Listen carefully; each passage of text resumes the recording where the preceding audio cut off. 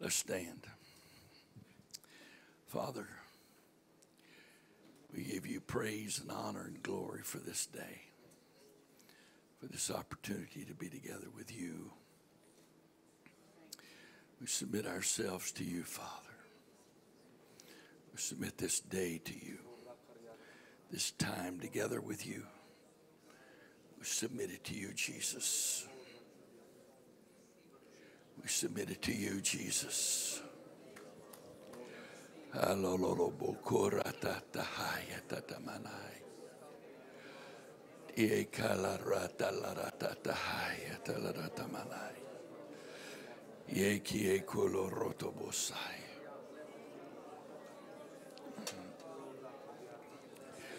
Hallelujah, hallelujah, hallelujah. Hallelujah. Sibakoto tie kulararabatahaya. Yelolo roto roto bokora tatatabahaya.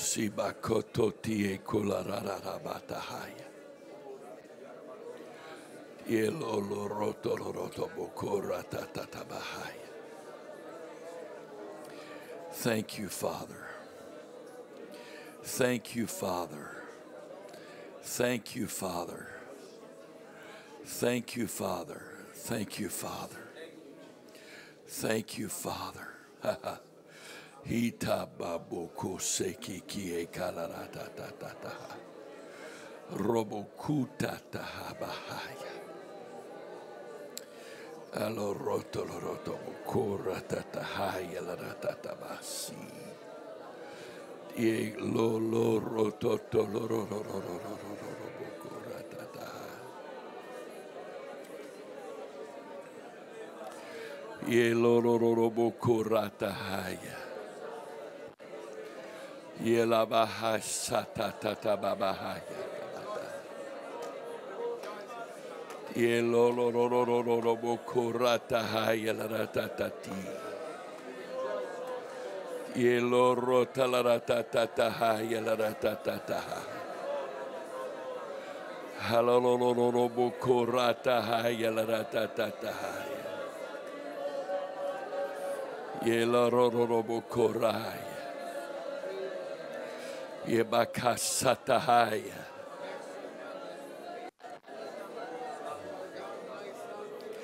Hallelujah, hallelujah, hallelujah.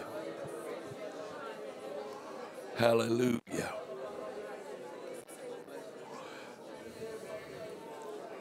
You may be seated. God bless you. Tonight is going to be a little different. Um, I've been dealing with practical stuff and uh, comparing things we have taught and practiced uh, with what the scripture's actually talking about. But tonight's different. And some of you will have heard me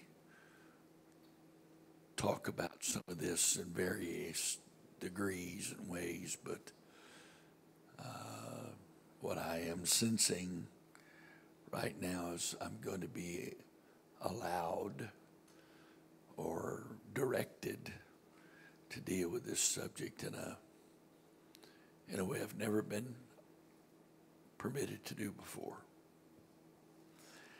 Um,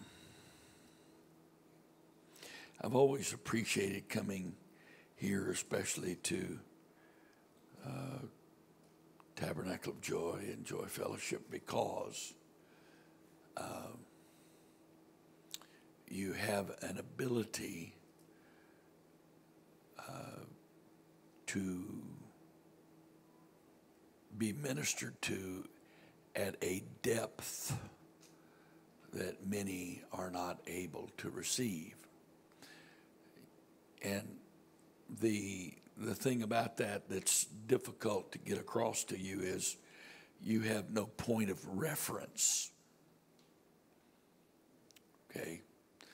You have no point of reference, so you don't understand, relatively speaking, how deep a speaker is capable of going here with the sense that you are able to stay with it and not be overwhelmed and whatever.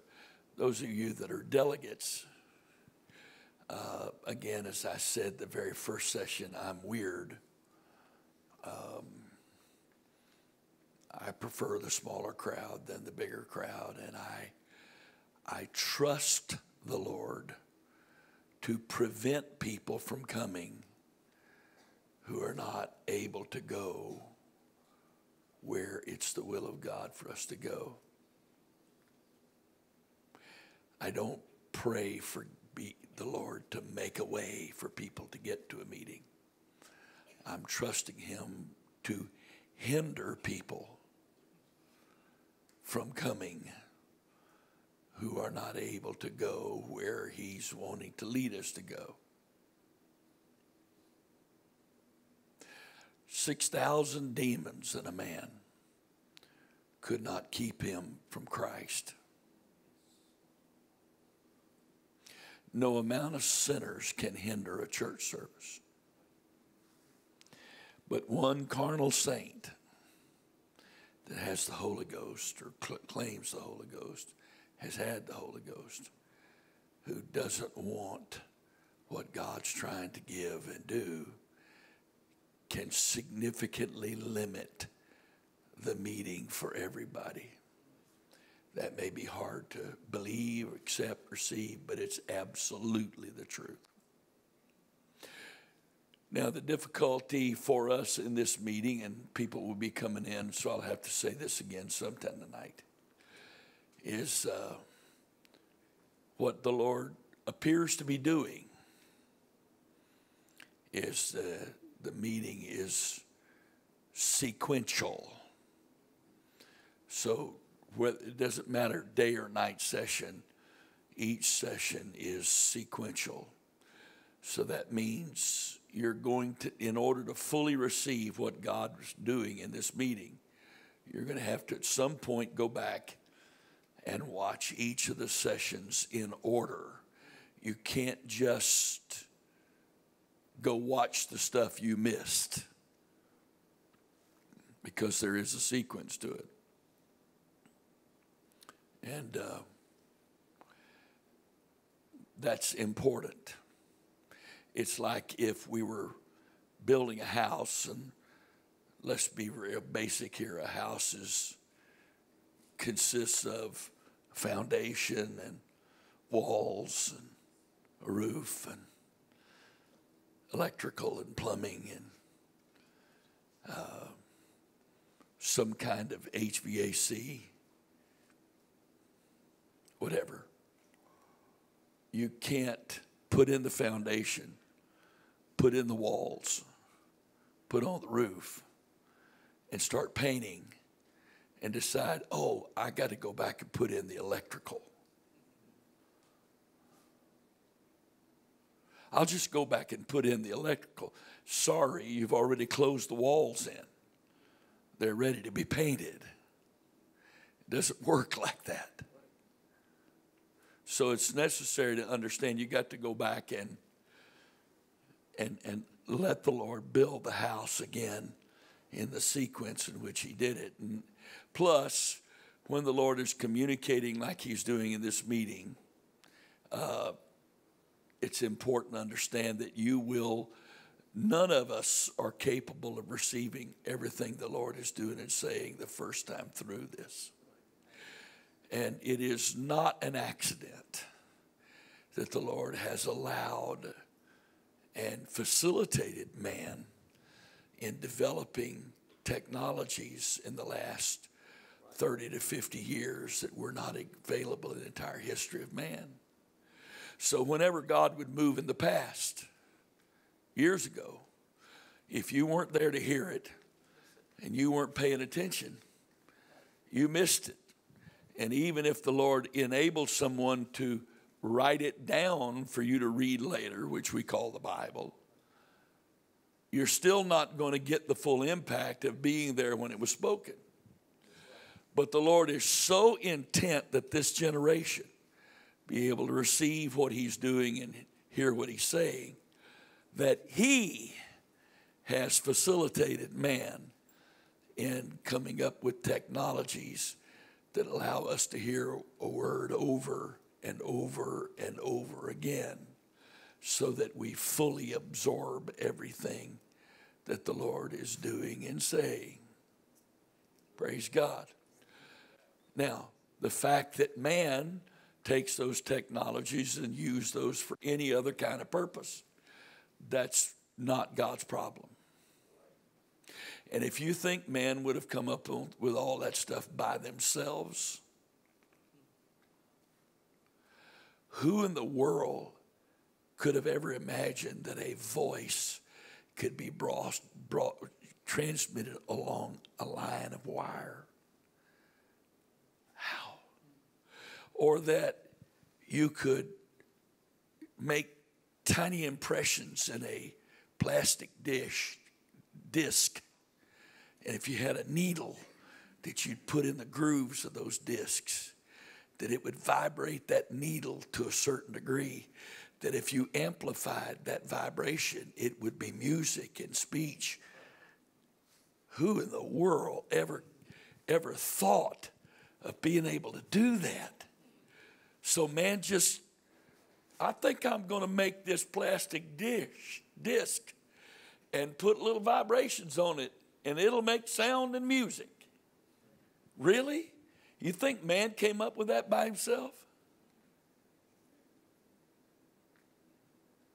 So, my point of all this rambling is that uh, the Lord has is so intent that this generation get what He's doing and saying. He's made it possible where you can watch it over and over and over again. Uh,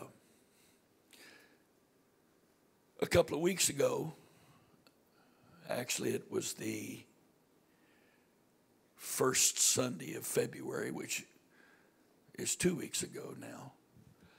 I preached, to David uh, was in England, and so I preached Sunday morning, Sunday night in Arnold, and so far, right now, Arnold is the only place we're able to stream live what we're doing with the other places, recording it and putting it online.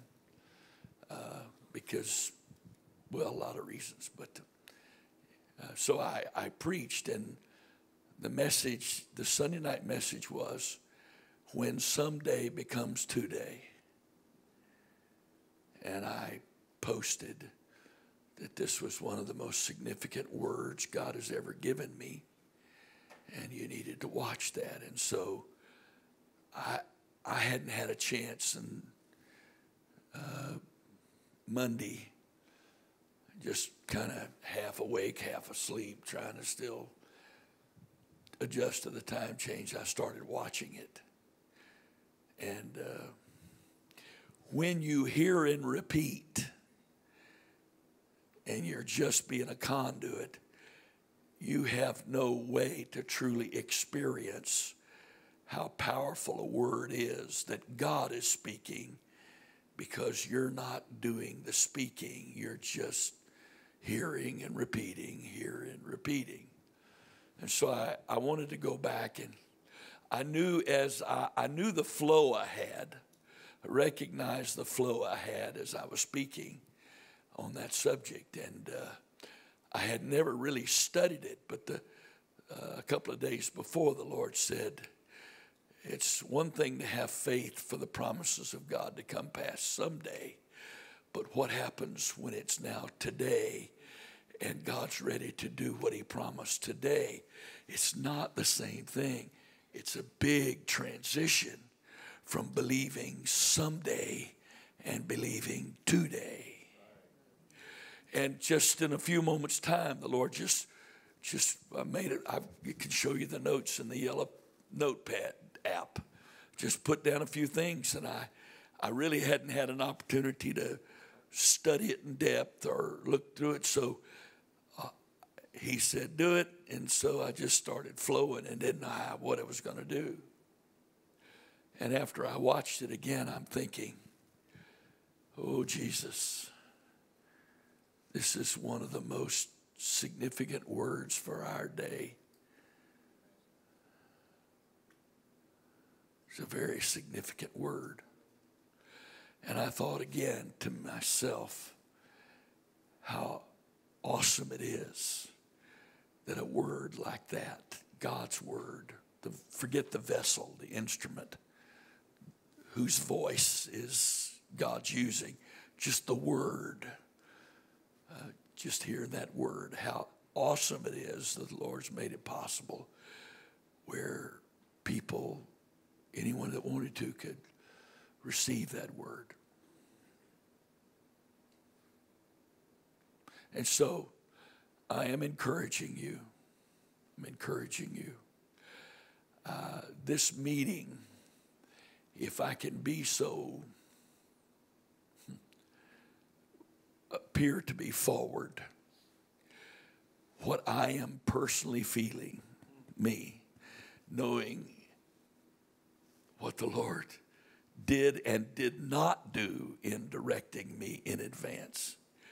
It really reminds me of March 2011 when we came here expecting to do one thing and the Holy Ghost just took it and went someplace completely different in a completely different perspective and impact. And uh, I am in dumbfounded amazement how the Lord is laying this out line upon line, precept upon precept, here a little, there a little, because He is, this is not just going to affect you, but hungry people throughout the world are going to be able to go to YouTube and hear what God is saying to transform their lives, their prayer lives. So, because you're being trusted to hear it firsthand, you need to understand the significance of that and make sure you're faithful to that. What a beautiful, sweet, powerful, wonderful move of God here today the way the Lord moved in here and confirmed his word and then began to, to deal with our hearts. And so, with all of that introduction, um,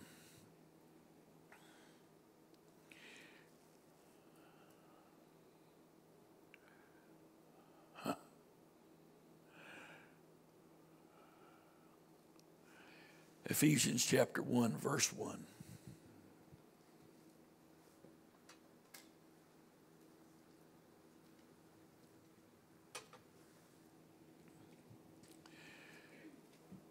It is impossible to cover this to the depth that uh, my myself that I would love to cover this.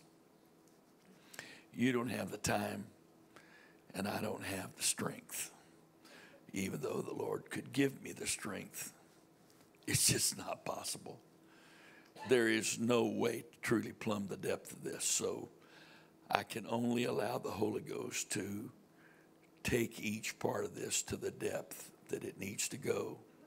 Suffice it to say that Paul, in speaking to the church at Ephesus, was trying to bring to them an understanding of who we are, what we're doing here, and what God is doing for, to, and through us. What are we doing here? Why are we here? I said it last night. I'm saying it to you again today. I said it today again. I'm saying it to this evening. The thing that would enable you to cast your care and trust the Father is to become absolutely convinced that He has a plan. He's not doing any of this on the fly. He's not just randomly deciding to do this, that, the other. That there was a plan before the first thing was brought into existence. a plan that he is going to bring to pass. So I'm reading Paul, an apostle of Jesus Christ, by the will of God. I mean, right there, okay.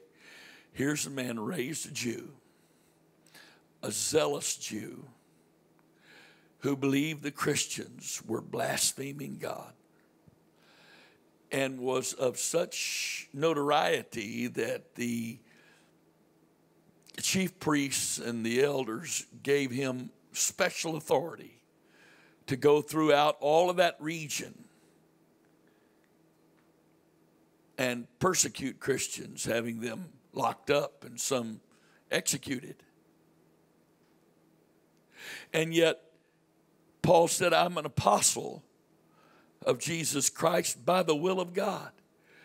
If you look at only my story and my history, you'd think impossible. It's never, it couldn't possibly come to pass. But God had a way. God had a way. I don't mean to be offensive, brother, but you're from Bolivia? Colum- I knew that. You said Colombia. You're from Colombia, living in China. Huh? Really? I mean, really?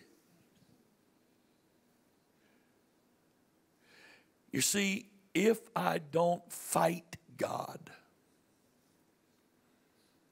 and let Him be God, He has a way to get His will done.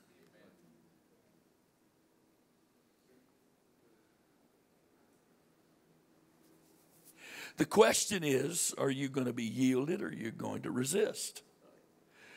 Paul, an apostle of Jesus Christ, by the will of God, to the saints which are at Ephesus, to the faithful in Christ Jesus, grace be to you and peace from God our Father, and according to Greek, uh, the Greek grammar, Sharp's rule of syntax, the word and here in this verse should be more properly translated by the word even, not the cumulative word and, but the word even, meaning comparing God our Father to being identical to the Lord Jesus Christ. Grace be to you and, and peace from God our Father and or even from the Lord Jesus Christ. Blessed be the God and Father of our Lord Jesus Christ who hath blessed us with all spiritual blessings in heavenly places in Christ. this communicates a done deal, accomplished, finished from God's perspective.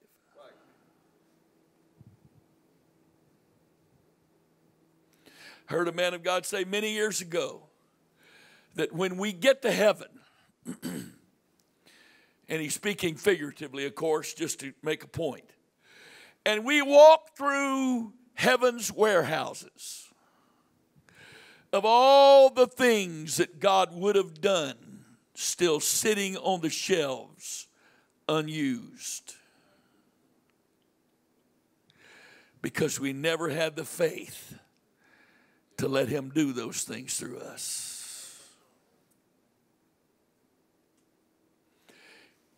He's already stocked heaven's shelves with all the blessings you need to do everything He's called you to do. You just have to be positioned in your relationship with God and your faith to be able to believe that and take advantage of all of that, not for your benefit or glory, but for the kingdom's sake. For all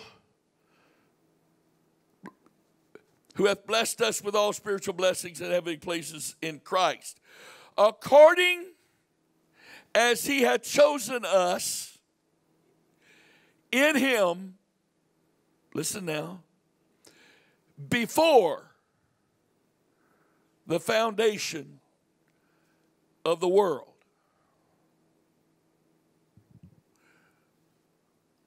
And what do we normally do? We read a, ver- a statement like that, we just slide right on by because that is incomprehensible. What is what does he mean by that? That means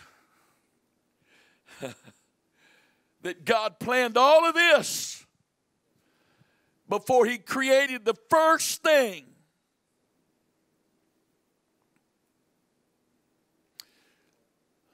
Some of you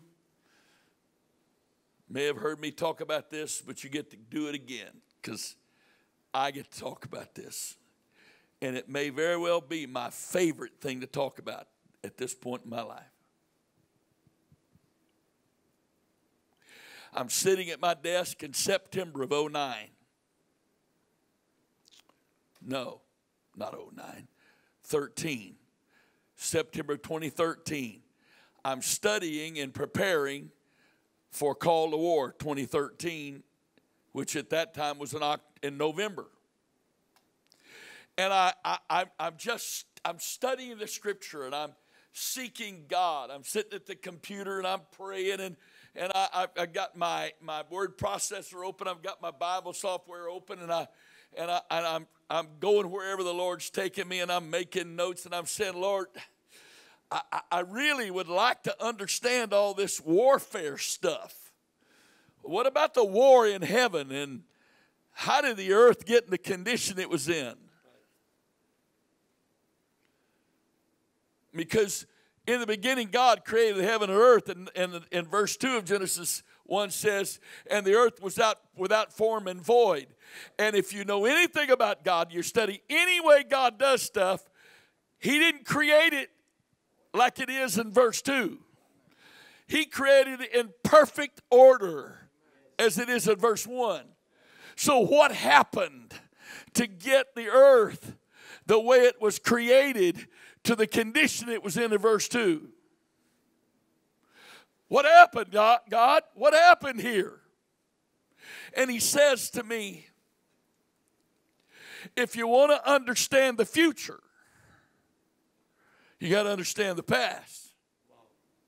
And I said, he, he, he and I having a conversation. And I said, How far back are we talking about? He says, How far back do you want to understand? And I said, Are you challenging me? Silence. I said, Okay, who are you? And where'd you come from? Is that far enough back for you? I didn't have a bad attitude or whatever. He didn't rebuke me for that. All he said, all he did when I said that was he quoted Psalms 90 and verse 2 to me. From everlasting. Before the foundation, before the mountains were brought forth or ever Thou hast formed the earth and the world. And depending on who you read and you study the Hebrew words there, the earth and the universe. Before you did any of this, even from everlasting to everlasting, thou art God. And that's what he said to me. From everlasting to everlasting, I'm God. I went, whoa. I, I've never thought of this before. Because we apostolics, our, our, our Godhead doctrine is taught from the perspective of the anti Trinity.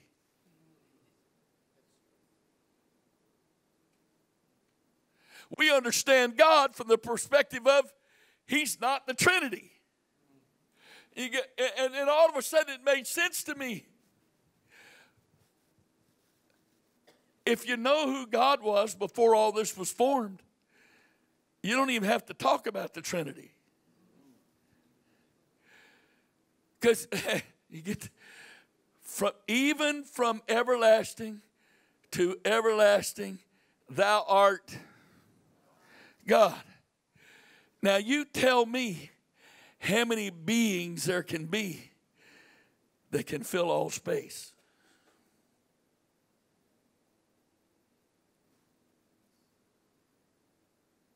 There can't be three. There can't be two. There can only be one.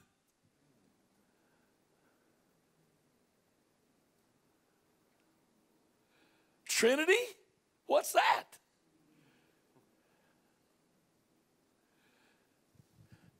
And the Lord said, What's my name? Well, Jesus. No. You haven't gone far enough back yet. What's my name? Father. No. Father implies something's been brought into existence. You haven't gone far enough back yet. What's my name? I am, not we are. I am. I am. Okay, now we're back there. There's nothing else but God. Nothing but God.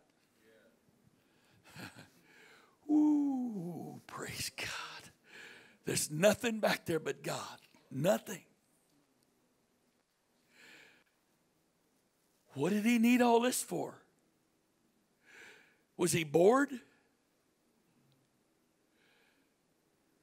What did he need to do all this for? He's God. He's got no trouble to deal with. He's got no problems. He's got nobody questioning who he is. He's self sufficient. He is the self one. He's the self existent one. He doesn't need anything, doesn't need anybody. He is God. He is I am. But God had a problem. The Bible says God is love. He didn't just start being love, He wasn't just love at creation. He's God, He can't change. Whatever He is now, He's always been. So, what do you do if you're the I am God? And the most descriptive term for you is not power and might and authority and wisdom and knowledge and holiness and but it's love. What do you do when you are love? But there's only you.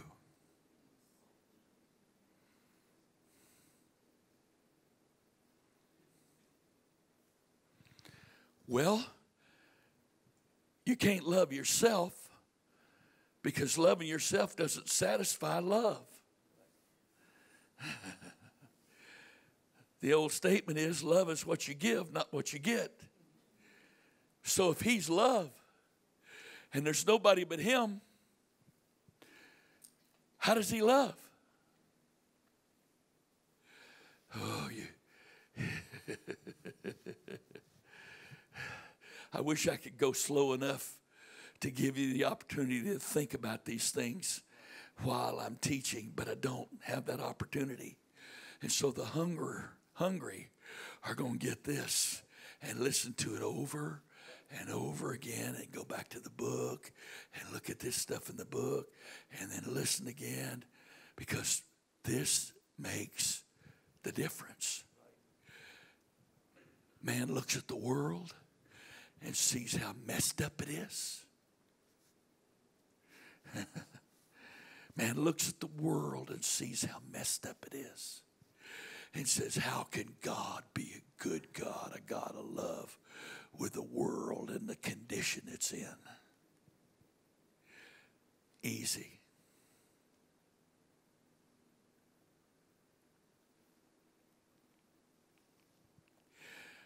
Love requires a choice on both ends.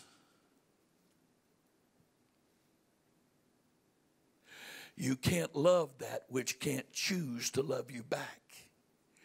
That's why you will never find a verse in the Bible where it says God loves the universe. It has no choice.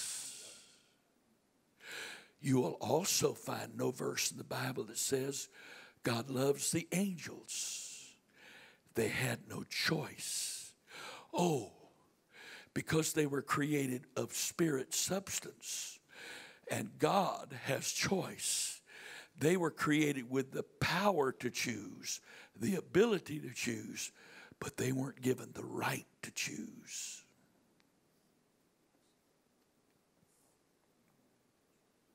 Because God never intended to have a relationship of love with the angels. That's why when Lucifer presumed to make a choice when he had no right to choose, he was done. There was no forgiveness, no redemption, finished forever.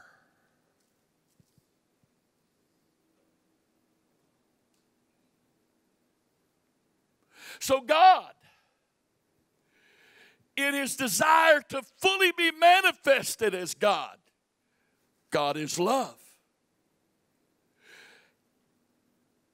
Decided he had to create an entire environment in which he could create beings like himself who had the power to choose and the, the right to choose and the obligation to choose so that he could love them and they could complete the cycle and love him in return.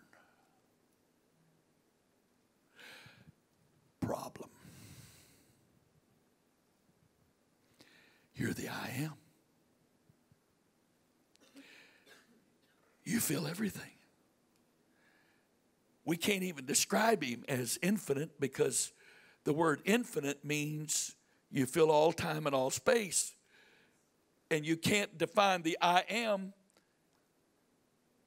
by time and space because even if you say he fills all time and space, that's still limiting the I am, and you can't limit the I am. So he is more than infinite.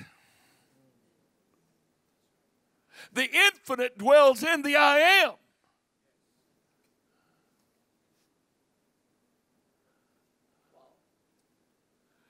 So here's the problem you're the I am. There's no time in you, there's no space in you. But you need a being created that can choose. But that being can't be you because there can only be one of you because there's only one God. There's only one I am. There can't be more than one I am. So that means this being he's going to create can't be God because you can't create a God.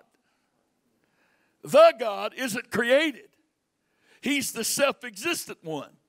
Before there was a beginning, He was there. After the ending, He's there. He's not the I was, the I is, and I will be. I is. Did you get that? I am. He's not the I was, I is, and I, I will be. He's the I am. There's no past, present, and future tense in him. He can only be the I am. So, how does he relate to time and space, which is the environment he's got to create to put this being in because this being making a choice, choice is a function of time. Choice means, choice means I hadn't chosen, but now I do choose.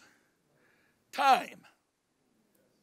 So, man that God is the only thing God created with the ability to choose and the right and responsibility to choose, could only be a part of time because choice is a function of time. How does the I am God pull that off? He can't.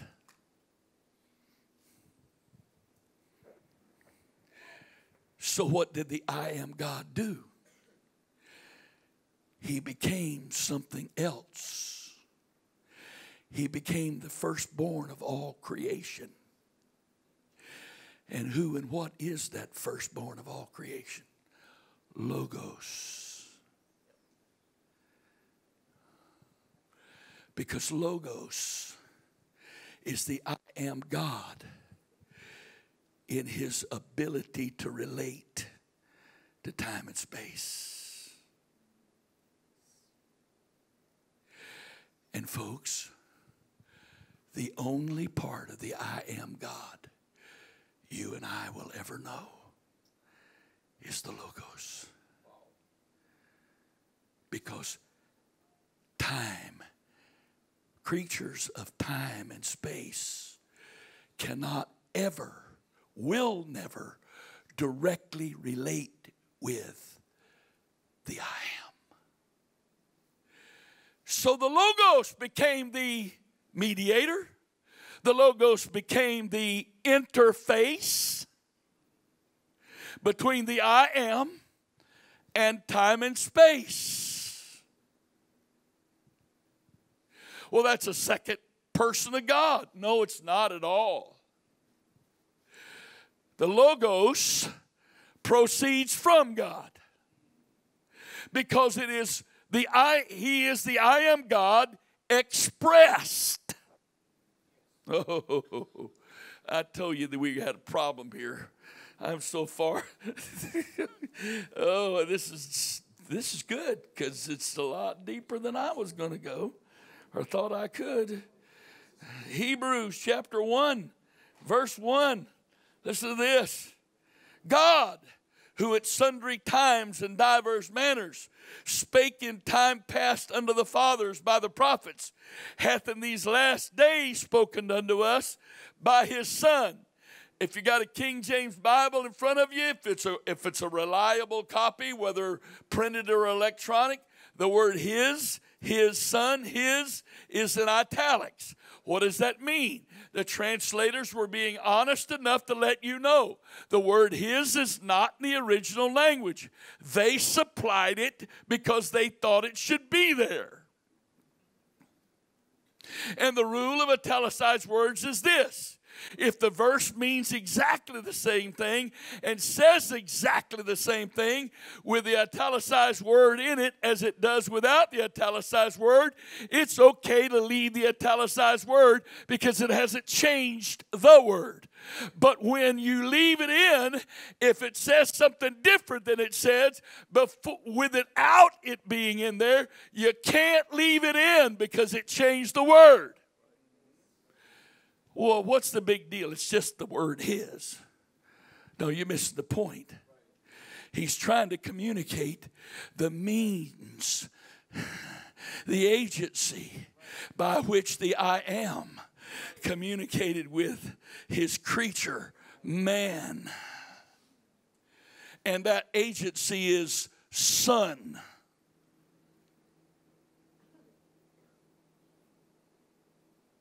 Not his son, son.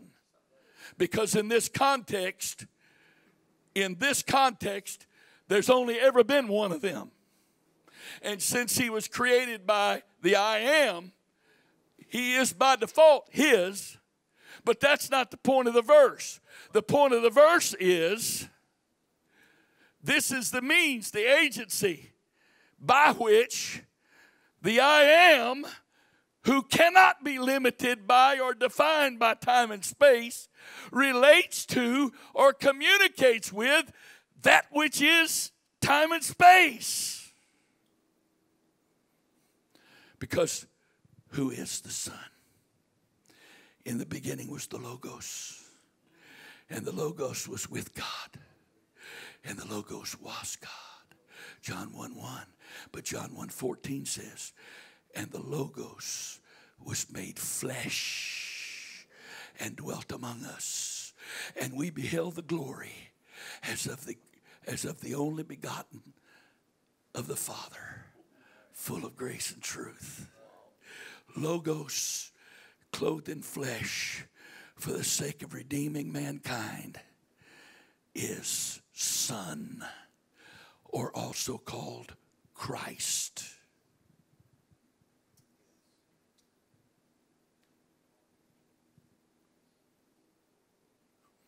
So, he says, hath in these last days spoken unto us by Son, whom he hath appointed heir of all th- things. Listen now, by whom also he made the worlds. In the beginning was the Word, the Word was with God, the Word was God. The same was in the beginning with God. All things were made by him, and, with, and without him, not anything was made that was made. Meaning the Logos, excuse me, the I am created nothing himself. Because I am. If he directly creates, he ceases to be the I am. Because in order to bring something into existence that's defined by time and space, he would cease to be I am. So by becoming Logos and doing everything through Logos, he stays the I am. Why did he do all this? Love. Love. Love.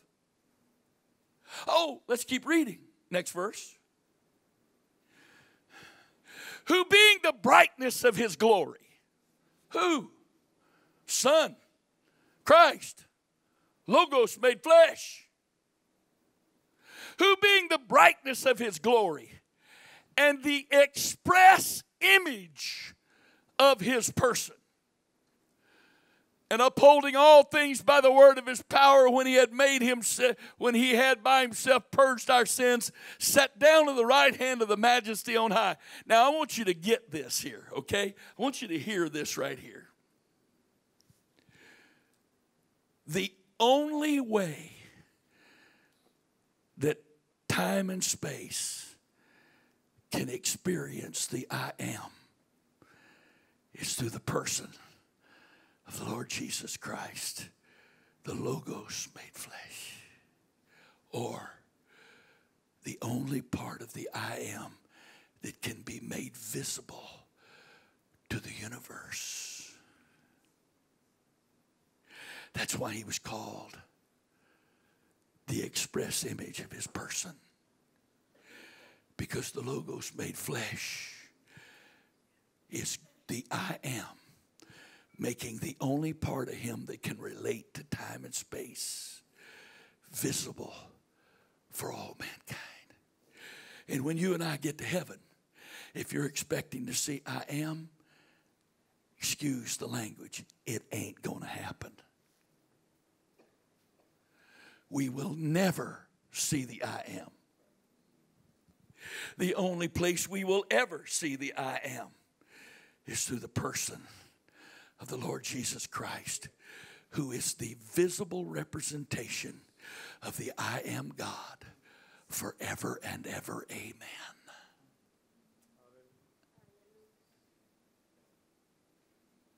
Verse 4 being made so much better than the angels, as he hath by inheritance obtained a more excellent name than they.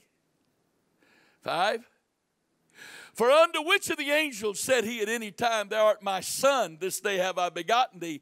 And again, I will be to him a father, and he shall be to me a, to me a son.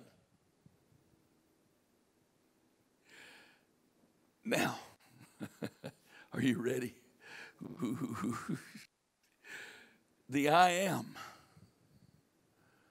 changed in the only way he could change when he became the Father by bringing the Logos into existence.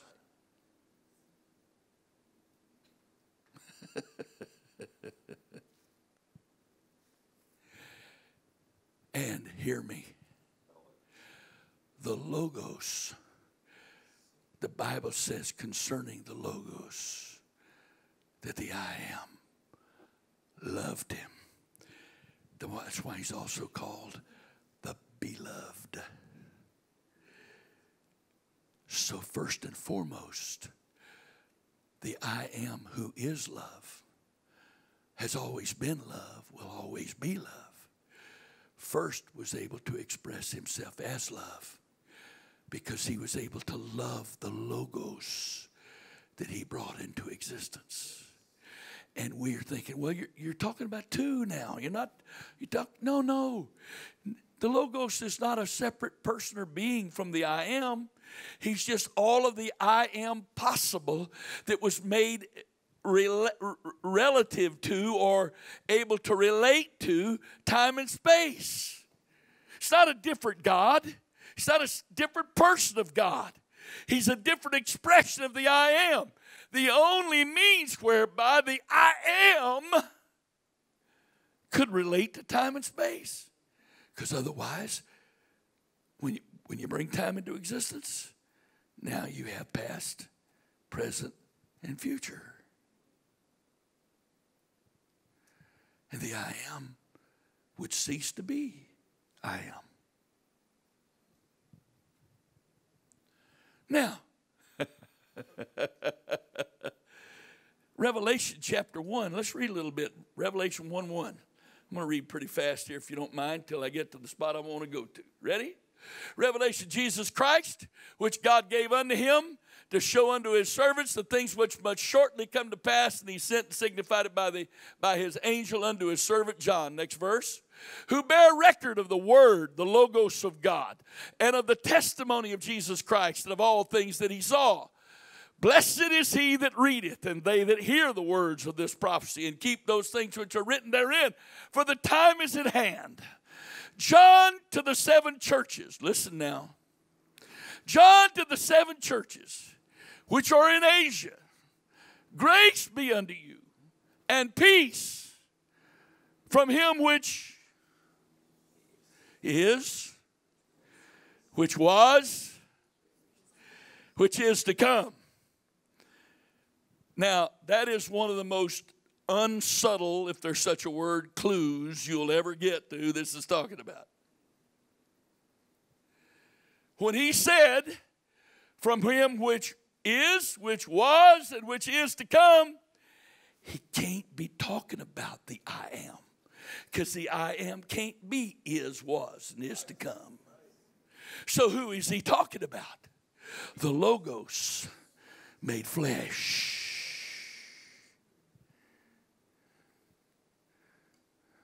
That's why this is the revelation of Jesus Christ that God gave to him. How can that be?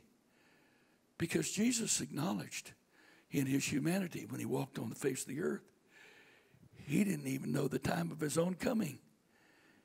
Only the Father knows it, knew that. The I am is the only one that knows that, or at least before Jesus ascended. Again, we shout, that's two. That's two at least. There's got to be a third because we believed in three all these years. It's not two. It's two dimension, two different dimensions of God. The I am who cannot in any way directly relate to time and space. And the I am's means whereby he could relate time and space and creation and man.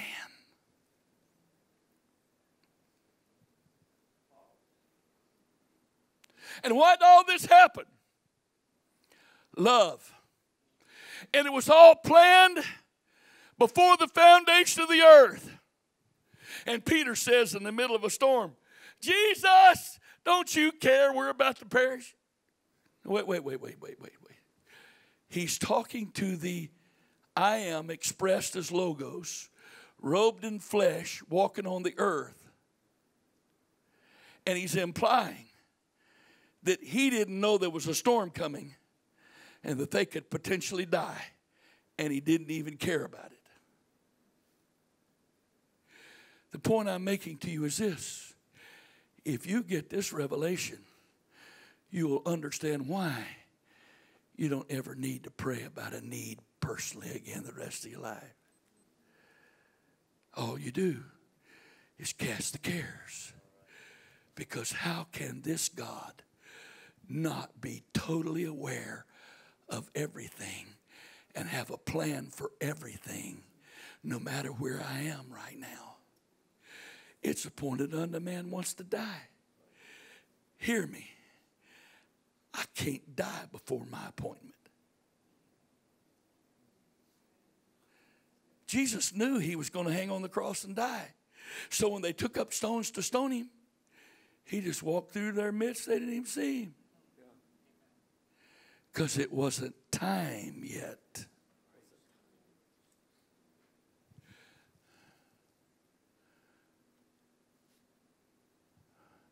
Jesus said, Don't fear him that can destroy the body. I say unto you, fear him that can destroy body and soul in hell.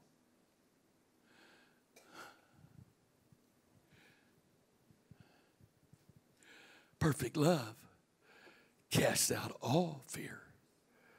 Fear's got torment.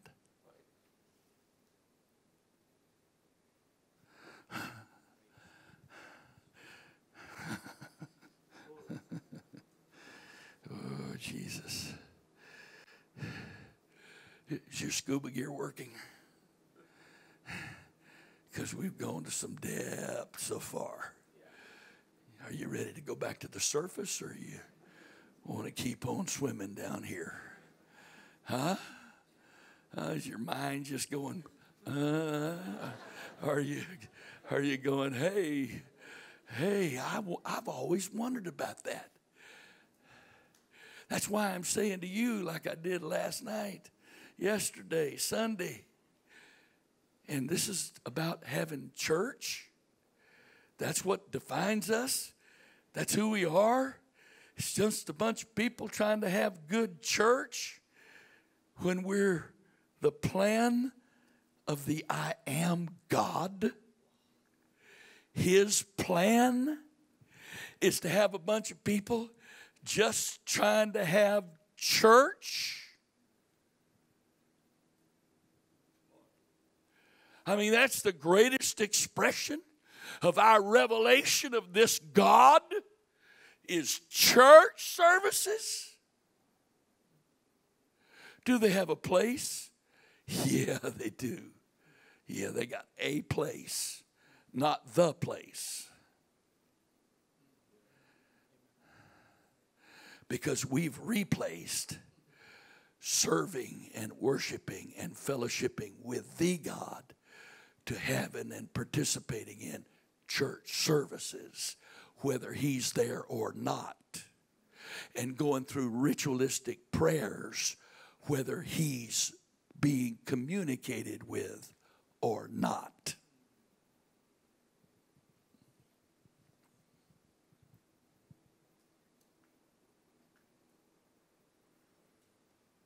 Oh, man loves religion. Throw your virgin or your, your baby daughter or your virgin daughter into the volcano and let's appease the volcano god. Into the Congo River, they throw their baby girls into the river for the crocodiles to eat to appease the crocodile god. Let's throw something to our angry God so he'll, he or they will leave us alone and we can live in peace because that's all religion can do is appease an angry God so that he doesn't punish us. And you think we're all that different from that? So you think we dress holy to appease an angry God? We come to church to keep from God being angry with us. We pay our tithes and live holy so that God doesn't get angry with us. We pray so that He doesn't get angry with us. Is that what this is all about? Because that's what religion does.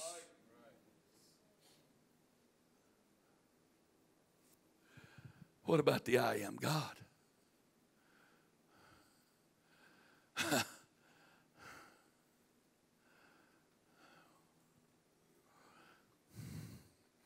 Second Corinthians chapter 4. I'm going to start verse 1 and read quick, if you don't mind. Therefore, seeing we have this ministry as we have received mercy, we faint not, but have renounced the hidden things of dishonesty, not walking in craftiness, nor handling the word of God deceitfully, but by manifestation of the truth, commending ourselves to every man's conscience in the sight of God. But if our gospel be hid, what's our gospel? Is it some doctrine? No.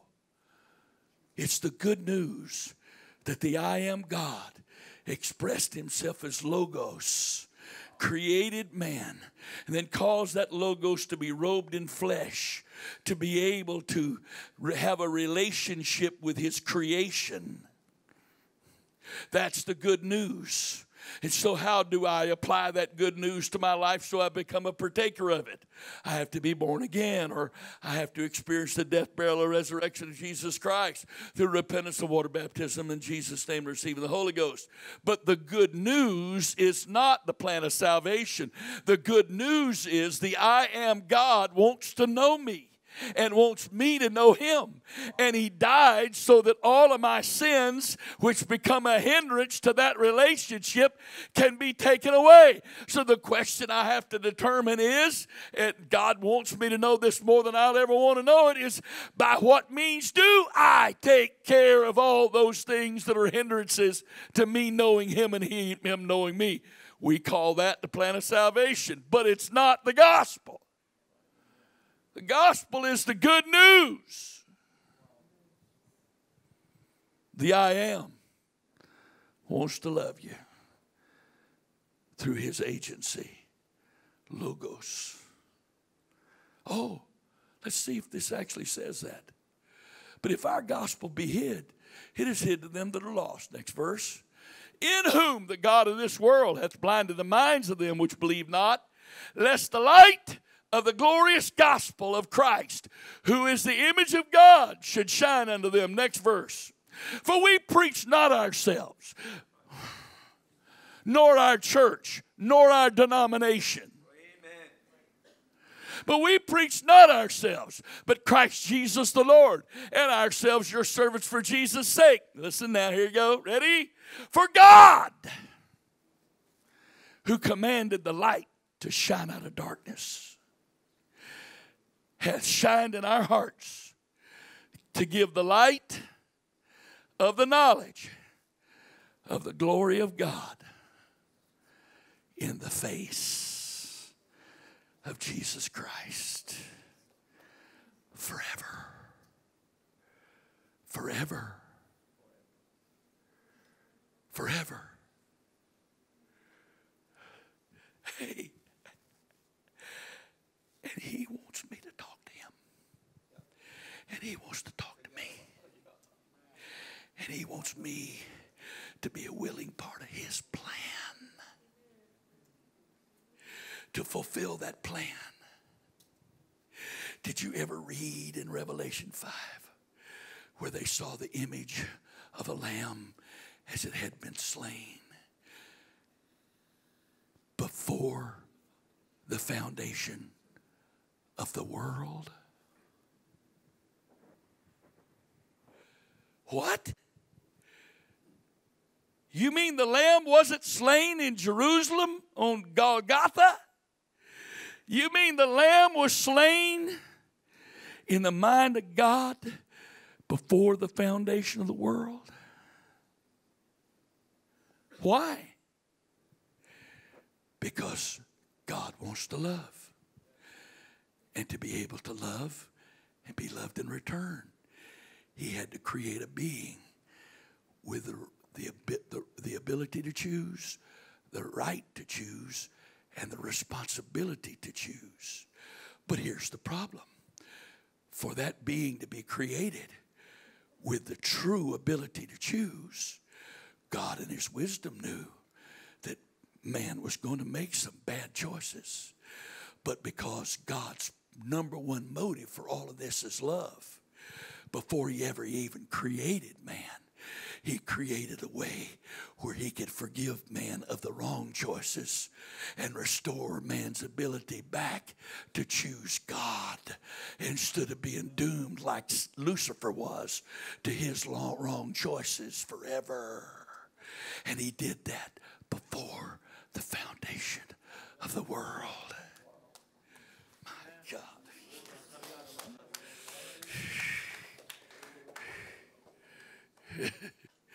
He didn't plan for man to sin, but He gave man a choice because it's the only way love would work. But He loved us so much that when He gave us the ability to choose, He knew we would make wrong choices. But rather than just, just, just eliminate us, just throw us out he made the way to take care of our wrong choices and restore us in Him back to the place He originally created us as forgiven and having the ability to choose to love Him.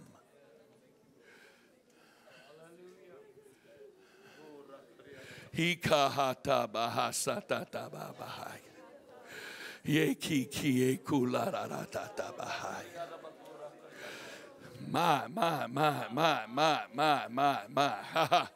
Woo! Itabaha sakoto tie kalaradatatatabaha.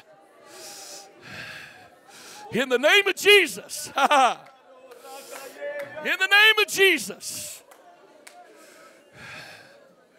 Hikatahalaradabatatahaya.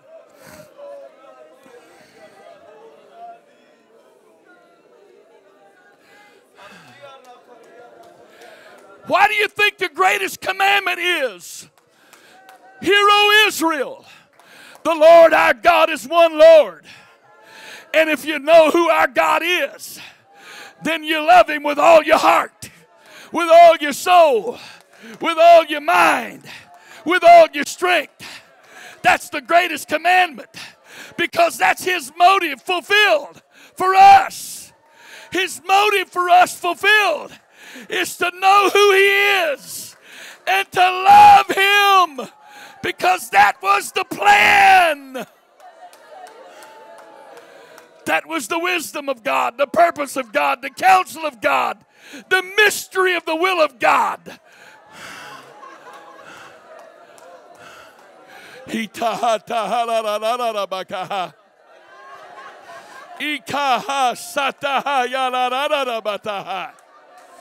Woo! you know what you're feeling right now? The Shekinah glory. You know what the glory of God is? The glory of God is the self manifestation and the self revelation of God to man. That's when you see the word glory, glory of God, that's God revealing himself to man. That's God manifesting himself to man. That's what's happening in this room right now. We're experiencing the, the glory of God.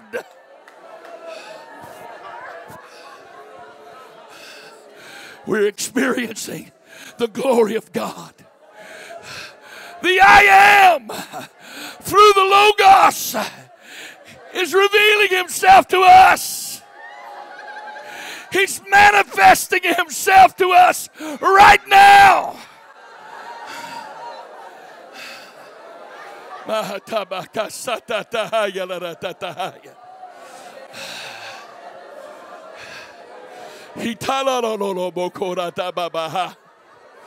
Woo!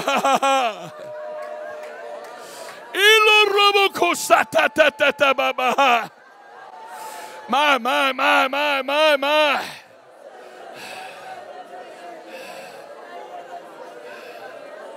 Hito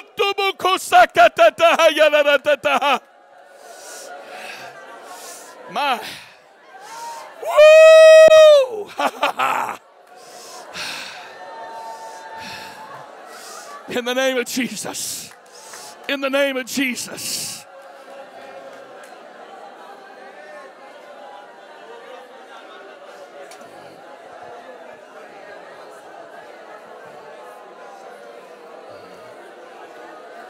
In the name of Jesus. In the name of Jesus. In the name of Jesus.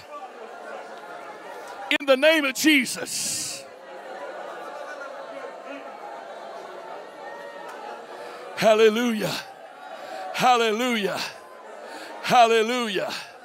Hallelujah. Hallelujah. Hallelujah. Glory. Glory. Glory. Woo! Ha ha. Ha.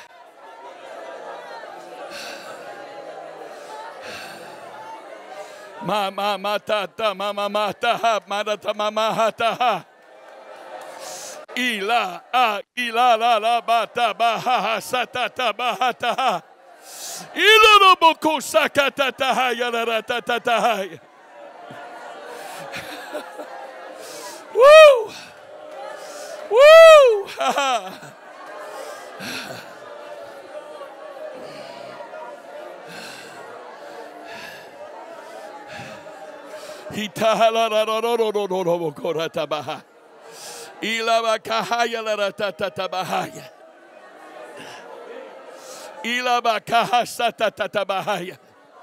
Come on, stay focused on Him. Keep your heart, your soul, your mind, your spirit locked in and focused on Him. Don't let anybody around you distract you. Come on, stay focused. Stay focused. There's revelation taking place in this room right now. There's revelation taking place in this room. Come on.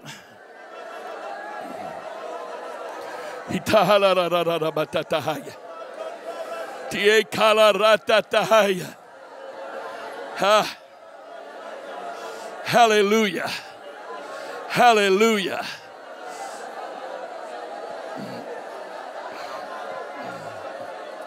Tia tabaka sakatatatahaya. Ha ha. Woo! Yes, Lord. Yes, Lord. Itabaka saha tatabaha. Ha ha ha ha. Woo!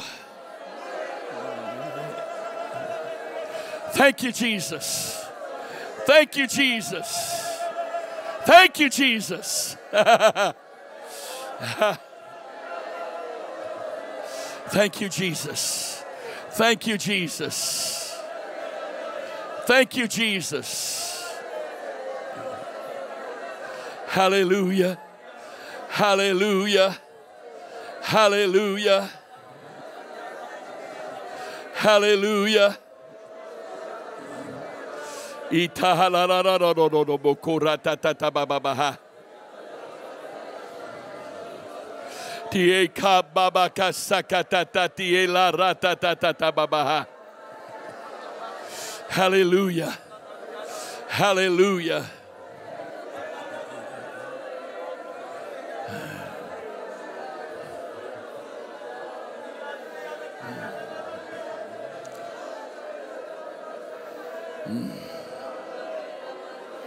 Jesus' name.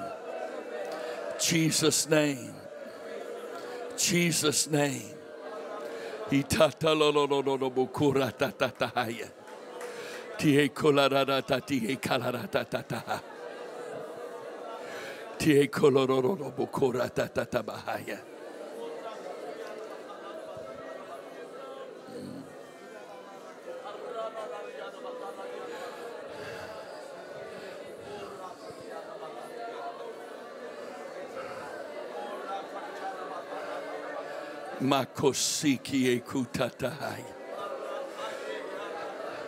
Thank you, Father. Thank you, Father. Thank you, Father. Thank you, Father. Thank you, Father. Thank you, Father.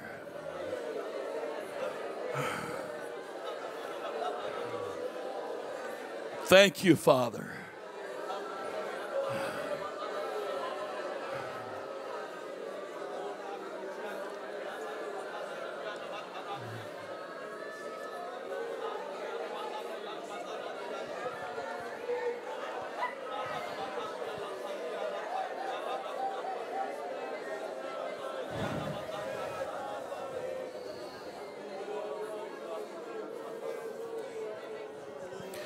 Ephesians 1 1, Paul, an apostle of Jesus Christ by the will of God to the saints which are at Ephesus, to, to the faithful in Christ Jesus, God be, grace be to you and peace from God our Father and or even from the Lord Jesus Christ. Blessed be the God and Father of our Lord Jesus Christ, who hath blessed us with all spiritual blessings in heavenly places in Christ according as he hath chosen us in him before the foundation of the world, that we should be holy and without blame before him in love, having predestinated or predetermined us in, under the adoption of children by Jesus Christ to himself. He did not violate your will. He did not create you where you could not be saved or could not be lost ahead of time. He predestinated the saved, whoever they are. The church is predestinated. Who's in the church is up to free will. But the church itself, the body of Christ, is predestinated in Him. Uh, uh, predestinate us unto the adoption of children by Jesus Christ to Himself, according to the good pleasure of His will. He has a plan. To the praise of the glory of His grace wherein he hath made us accepted in the beloved. oh, my brothers and sisters. Do you you understand this? This isn't about what you do to earn anything. It's just being willing to humble yourself to receive the grace of God. Philippians 2:13 for it is God that worketh in you both to will and to do of his good pleasure. I can't take credit for me being here tonight. I let Him activate in me the desire to, to, to do that. And then He activated in me because I allowed Him to the ability to do what I desired to do. Therefore, He gets all the glory.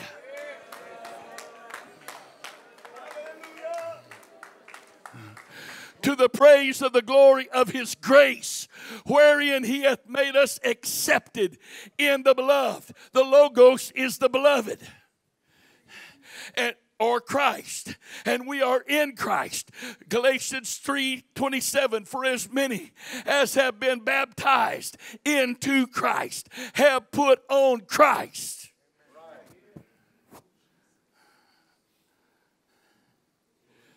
Are you ready?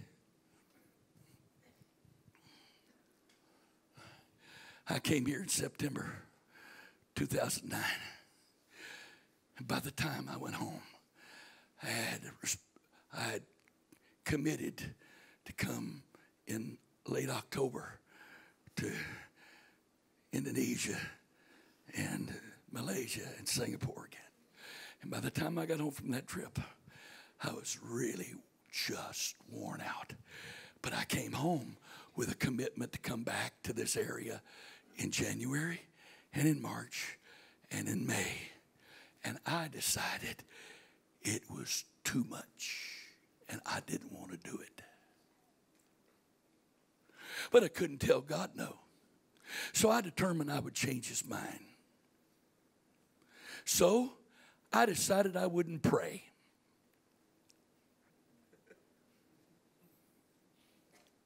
You're looking at me like, I can't believe you're telling us this. I can't believe I wouldn't. So I, I decided I wasn't going to pray.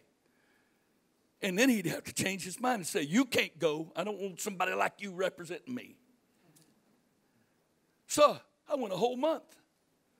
And of course, if you don't pray, you struggle with stuff. So he hadn't said anything. He hadn't even tried to convict me of my struggles. He, he didn't do any of that. And I keep waiting for him to say, You aren't going. So finally, I couldn't stand it anymore. A whole month, I'm dying. And I said to him, Well, I guess you're not going to send me now. He said, Oh, yeah, I am. Don't you realize what I just been doing? Duh. I haven't prayed in a month. You can't send somebody like me. Oh, you're going all right. And you know those struggles of the flesh you have when you don't pray? don't ever ask me to take them away again because I'm never going to take them out of your life. How could you do that? Because then when you go and you're going and I use you,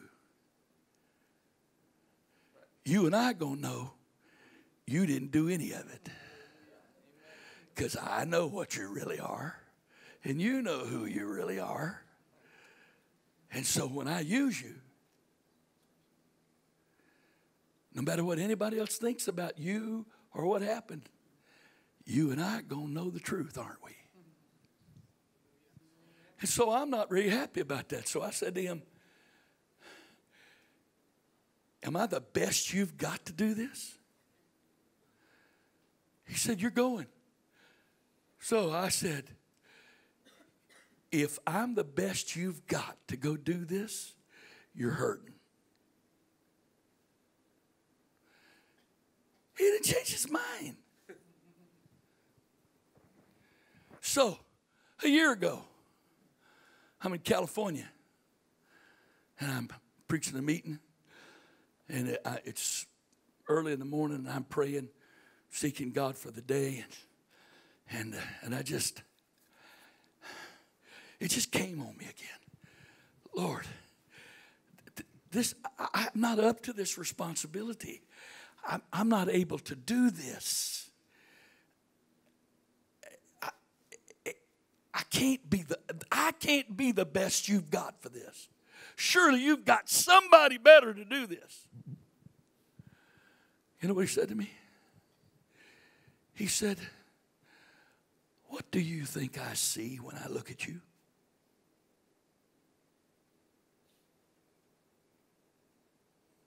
He said, I'm not talking about what you see. I'm talking about what I see.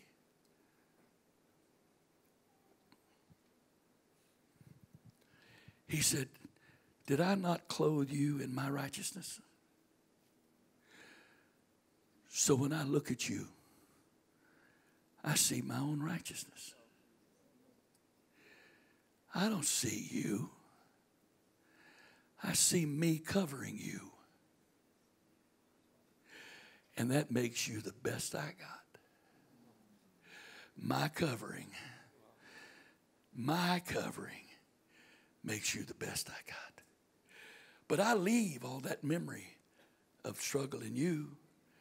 I don't even know about it because I promised I'd forgive your sins and remember them no more. But I let you remember, not so you won't let me use you, but so you will never take the glory.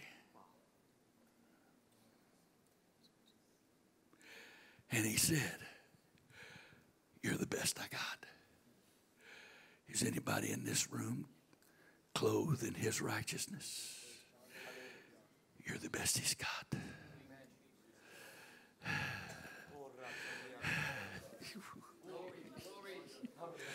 You're the best he's got. But what about all my mistakes? He doesn't know about them. He forgot them. He, when he forgave them, he forgot them. And then he clothed you with his own righteousness. So when he looks at you, what does he see? He sees his own righteousness. He sees himself. He's covered you with Himself.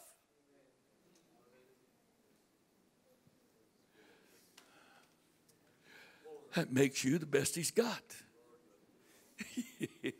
no, it's not this. It's, yeah, yeah.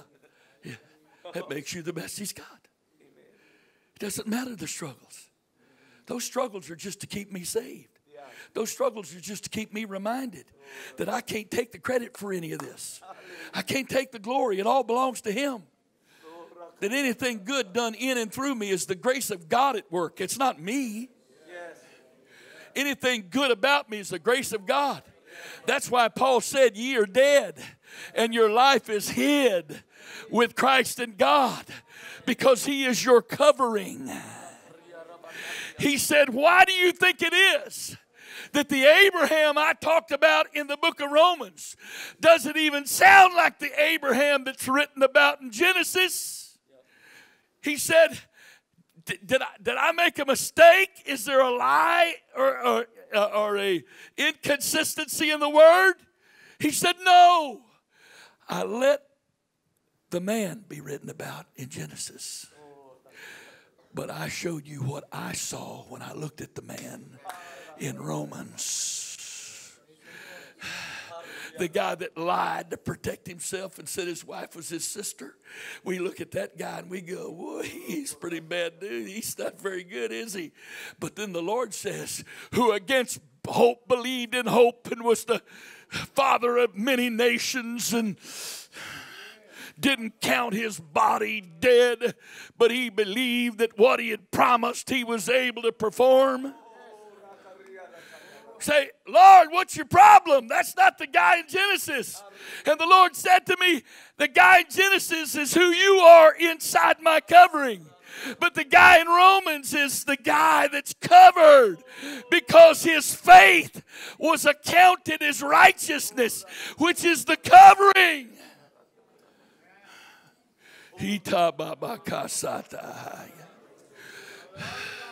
The devil don't want you to get that because it's his only hope of neutralizing you in the kingdom of God.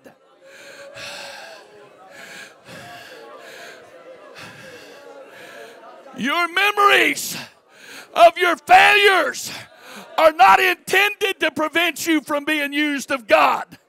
They're just intended to remind you that the one doing the work is not you, and the one that gets the glory is not you either.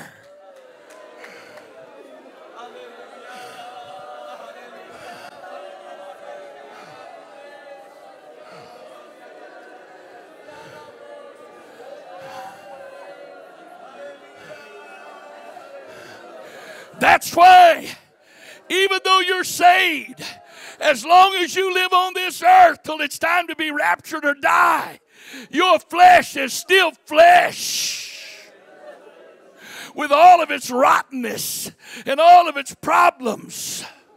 Not to humiliate you, not to embarrass you, but to remind you who the covering is, who's done the forgiving, who's doing the work, and who gets all the credit and glory.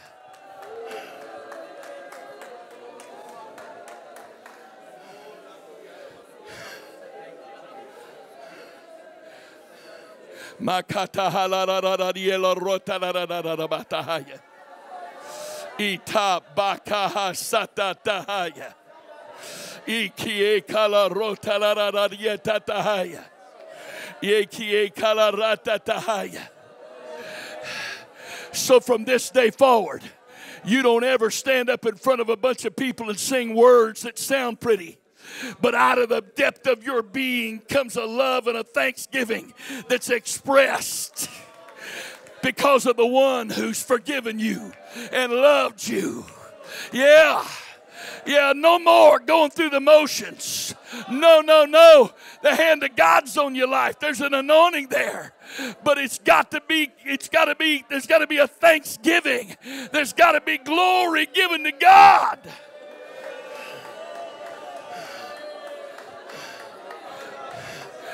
How can people with this revelation come to church and go through the motions of singing songs they don't even mean?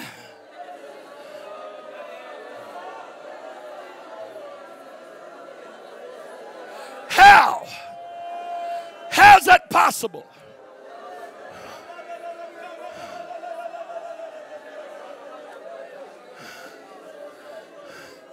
How's it possible for a man of God with this revelation to stand up in front of people preaching pretty sermons to try to impress people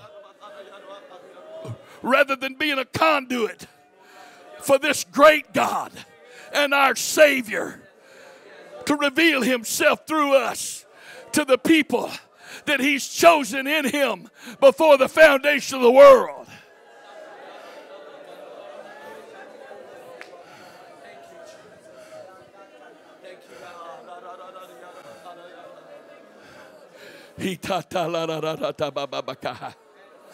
Woo!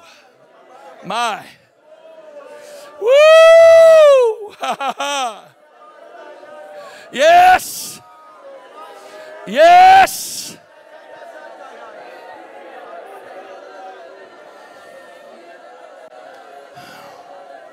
Yes.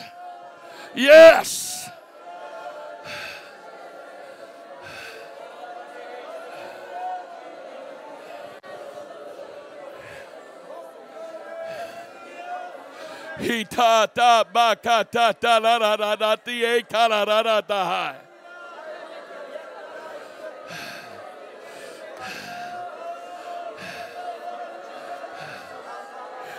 That same glory that shines in the face of Jesus Christ is supposed to shine from the face of those who are a part of the body of Christ.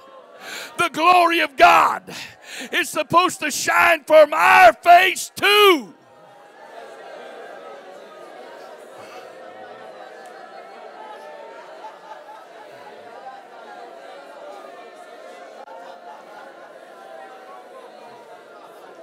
In the name of Jesus. In the name of Jesus. In the name of Jesus. He ta ta ba ha ta ta ba ba ha ta ha.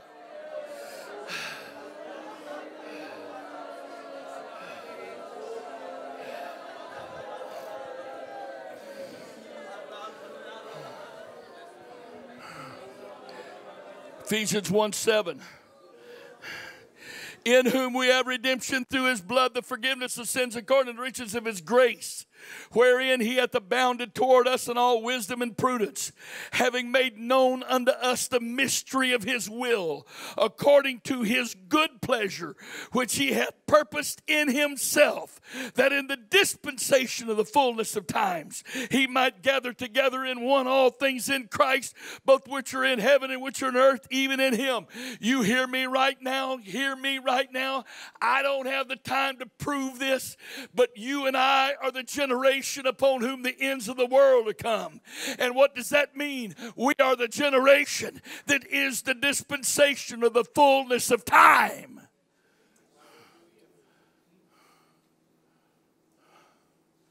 in whom also we have obtained inheritance, being predestinated according to the purpose of him who worketh all things after the counsel of his own will.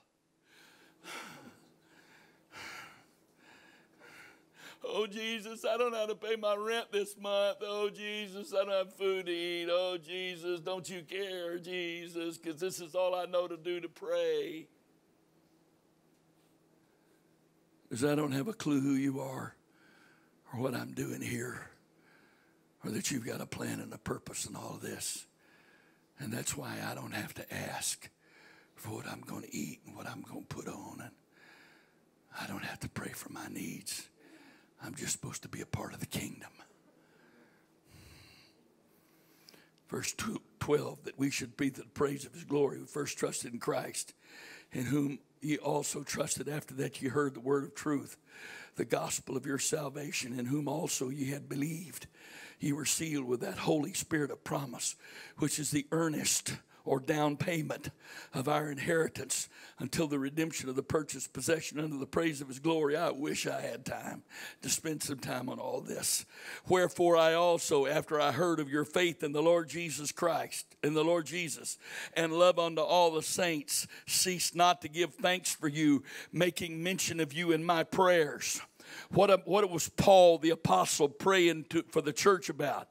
He didn't just pray for the church at Ephesus because this is a part of the eternal word of God. That means this prayer was prayed for the whole church in whatever generation and time period the, the church existed. What did he pray? That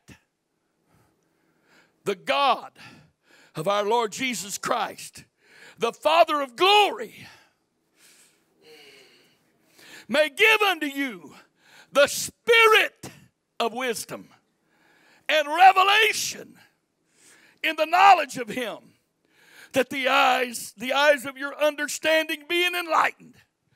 Paul said i'm praying you receive the spirit of wisdom and revelation and the knowledge of him that your understanding would be opened and you would know these things. What did you pray for me to know paul ye may know what is the hope of his calling. I don't believe in eternal security in the context in which it's preached. But you hear what I'm about to tell you right now. It's hard to be lost. Because the love of God's never going to give up on me. No matter how much I struggle, no matter what my problems are, until I convince him there's no hope, leave me alone. Struggling with the flesh is never God's problem. He will never give up on somebody that struggles with their flesh. It's when they let stuff get in their spirit. They come against the authority that God has put in their lives. They come against the revelation of the truth they once believed and participated in.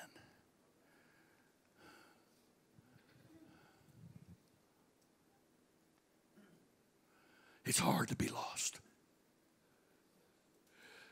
Because the Lord says, judge nothing before the time. And until you've reached your appointed death time, it's appointed unto man wants to die. And after that, the judgment. Until you've reached that day, his love's never going to give up on you. It's hard to be lost. Why? Because his motive for all of this was love love. So many people listen to the lies of the devil. Oh, it's hard to be a Christian. It's hard to be saved. There's no greater lie told to the people of God than that. It's hard to be lost. No matter how much I struggle, no matter how much I have problems with myself and my flesh, no matter what I fall into, the love of God doesn't quit on me. Does that mean all of my problems are okay with God? No. It just means He's before the foundation of the world. In His mind, He already died on the cross. In His mind, before the foundation of the world, to take care of all my faults and failures. They're not His problem. The, you know who's shocked at my sins? Not God. He doesn't go, oh, no. Look at what Joe Herod has done. Oh God, I'm so, I don't know what to do. I, I'm so shocked. God's not shocked. He knows what flesh is capable of. You know who's shocked at our sins? We are. I, I'm, I can do that. I'm capable.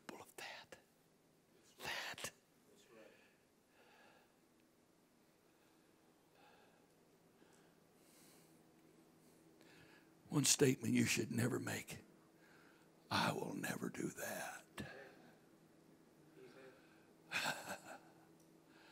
I'll never stoop that low. Hmm. So, first thing Paul prayed for us to know that we would receive the spirit of wisdom and revelation and knowledge, and that, our, that, that the, our, the eyes of our understanding would be open, that we would know the hope of his calling. And that word hope in the Greek means confident expectation. So the hope of his calling is absolute confidence in his ability to save me. Oh, you ready? And what the riches of the glory of whose inheritance? Not my inheritance. Not my inheritance. Whose inheritance are you? His inheritance. You're His inheritance. You're His inheritance. He did all of this because He was going to get you out of it. You were what He wanted to get out of all this. You're His inheritance. Do you get that?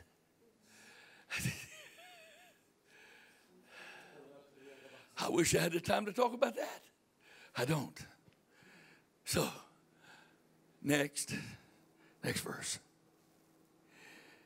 And what is the exceeding greatness of his power to usward who believe? Well, how great is that power? Whew, Jesus. He tells me, he defines specifically how great that power is. That, the, that Paul prayed you'd receive the spirit of wisdom and revelation and the knowledge in, that your, the eyes of your understanding might be opened and enlightened so that you could know what is the exceeding greatness of his power to usward who believe. What is that power? Which he wrought or worked or manifested or demonstrated in Christ when he raised him from the dead. Well, that's not all that unusual. He raised a lot of people from the dead. Oh, but he didn't do this with those he raised, only with one. and set him at his own right hand in heavenly places. Now, what does that mean? Is there a big God sitting on the throne and a little Jesus sitting off on the right side? No. You know what that phrase right there means? The exceeding greatness of his power to us who believe is that he took Christ, allowed him to be crucified, buried. He raised him from the dead.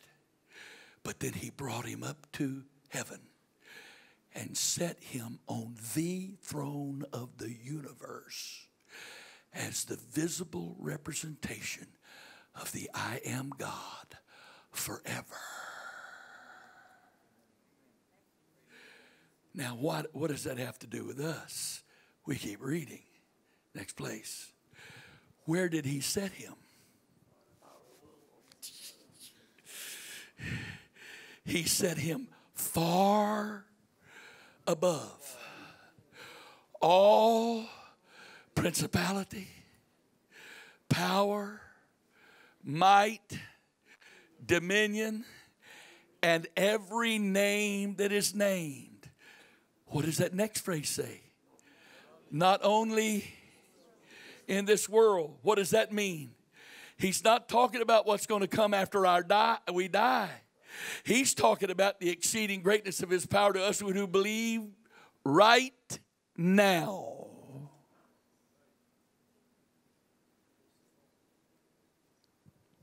Not only in this world, but the world is to come.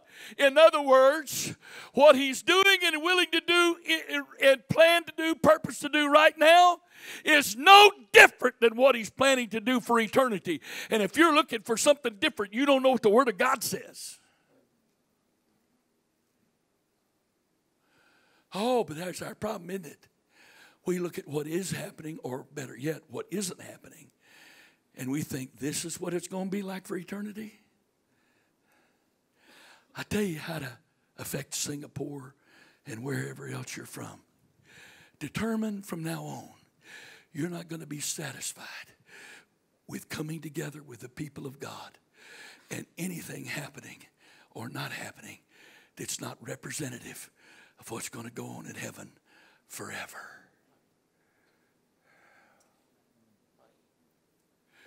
We settle for this when He's planned to give us this.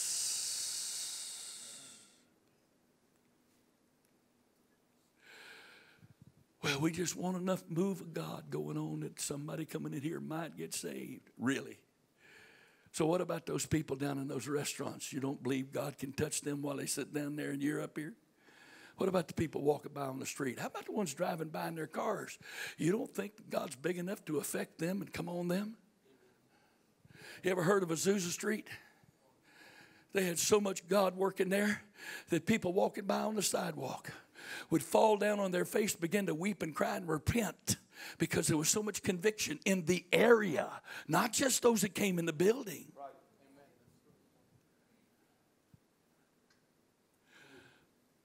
But we're just trying to get a little bit of something stirred up while we come together.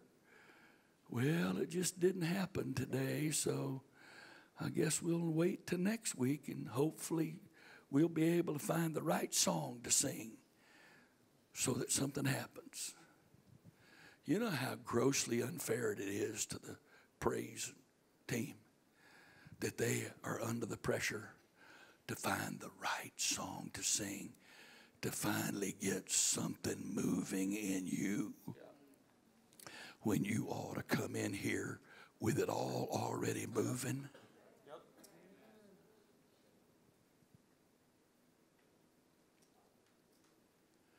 You know what the will of God is? for the man of God to have to get some kind of bell or signal Because the noise of praise is so loud and so continuous that he has to ring a bell to get you to slow down so we, he can preach. Oh, brother, right. You mean people that have been chosen and blessed by God like we are have to be begged praise?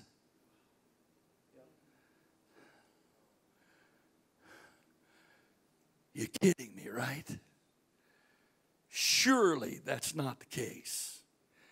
Surely there ought to be a well of water, praise and thanksgiving and worship just bubbling up and flowing. Surely.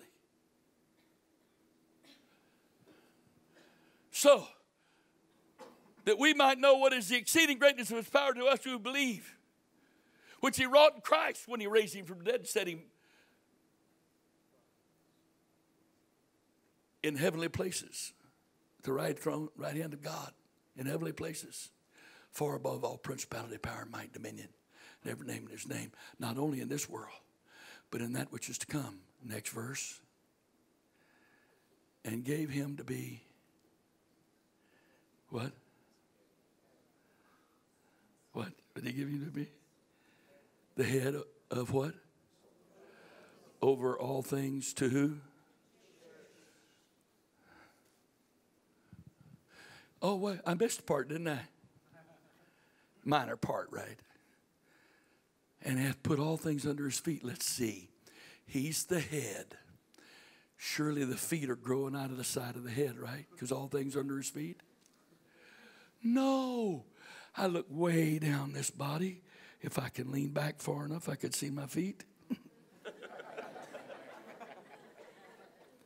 and I find my feet on my body at the far end of my body from where my head is. And he's put all things under my feet, meaning there's no part of his body that he hasn't put above everything. Even the farthest part of his body from his head is everything's put under his feet. And he has he gave him to be the head over all things to the church, which is his body that filleth all things, that filleth all in all, which is his body, the fullness of him that filleth, filleth all in all, the fullness of him. He's not our fullness in this verse, we are his fullness. Is that not what it says? It says it in the Greek too. It says it stronger in the Greek. He's not our fullness, not in this verse. We are His fullness. The word full there means to make complete. Because the I am, who is love, created people in Him before the foundation of the world that would make Him complete.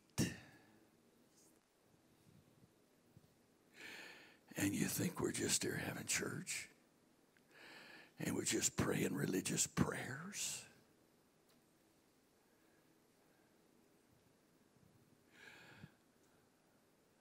I'm going, maybe just kind of stay here for a little while. We might be done with the heaviest part of the teaching because something needs to happen here right now. if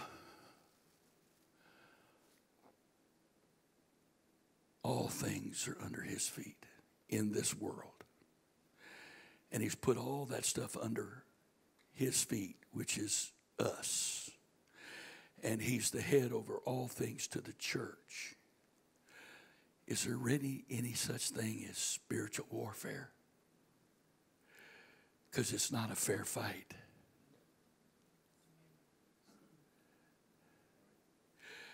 So, is the purpose of prayer to convince God to do something he doesn't want to do? Or has he already got a plan and he's looking for people that will be his mouthpiece, his feet, his hands in the earth to do what he's already purposed to do. He just needs somebody to be his conduit in the earth because the I am God cannot work in the earth without having a conduit to work through. And during the time the Logos made flesh and walked the earth, he was the conduit. But he only allowed him to stay here a few years and took him to heaven so that he became the head of the body that now represents that conduit. Because while he was on the earth physically, he was the Christ. Ooh, you ready? But now we are the Christ. Or at least the part of the Christ that's still on the earth. Because the head is already in heaven. The head has already overcome all things. These things have I spoken unto you, that in me you might have peace. In the world, you're going to have trouble, but don't be full of fear. Don't be discouraged, depressed. Be of good cheer. I've already conquered the world. And I am your head, and you are my body. And I'm the head over all things for you. And I'm already there. I can't lose. I've already won. And you're my body. And as your head, I'm already there. And I'm the conduit for all spiritual blessings that's already been granted to us if you would just believe and receive them. Because you're mine and I'm yours, and we are the culmination of God's plan in the earth. So, why do we need to pray? That's what the next four sessions are about. That's why, as I said yesterday, we don't know how to pray because we don't even understand what prayer's for.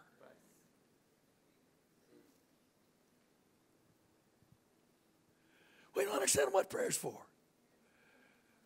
Prayer's not a bunch of God's little orphan kids, little homeless orphan kids that don't know where their next meal's coming from. Oh, God, don't you care about us?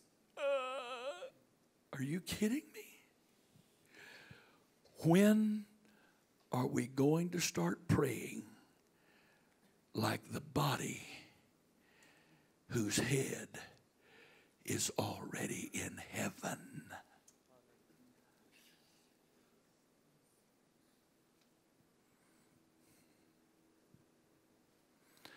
I said to the precious folks that are part of Joy Fellowship on Sunday,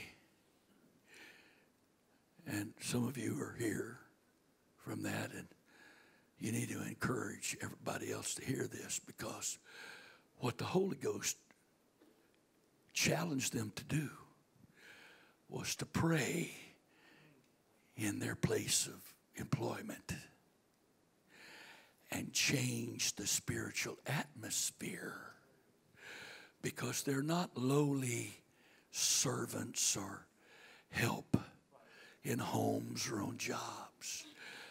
They are members of the body of Christ whose head is already sitting on the throne of heaven. And we are his mouthpiece. We are his hands. We are his feet.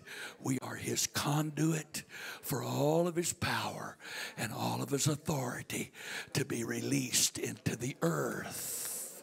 That's who we are. When are we going to start praying like who we are? When are we going to start praying like who we are?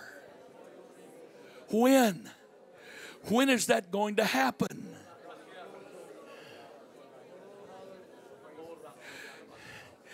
It is irrelevant what the Father, for his own purposes, allows the government to do for this building.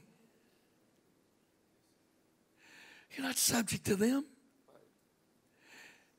Your head is far above all principality, power, might, dominion, and every name that's named.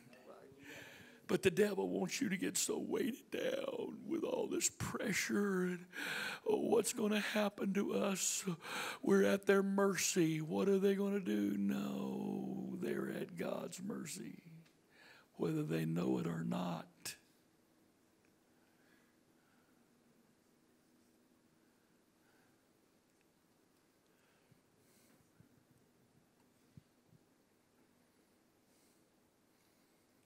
But what our problem is, we don't act like we believe that.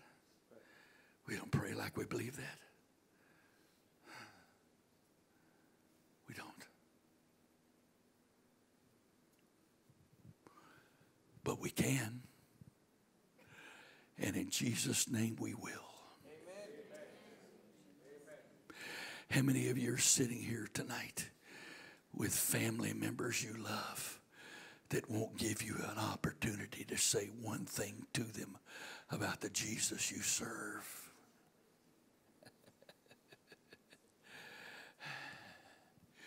I was in Pakistan in 2012, and uh, I was preaching in one of the main churches. I won't say the city or whatever. And uh, we had a great service, and most of everybody had gone, and I was still standing there with the missionary and the pastor of this church. And this the back door opened, and this elderly man, older man, he wasn't elderly. Elderly's got to be like 90, right? You're not elderly till you're at least 90 or older, right? This, this older man and his wife came through the back door, and you could tell he was hurting. And he came up to the front, and the pastor knew him. The pastor said, This is the head imam or imam, imam, imam or mom, the, the head imam of this city and he had a dream. And in this dream, the Lord Jesus Christ said, I am God. And he sought me out. And I baptized him in Jesus' name.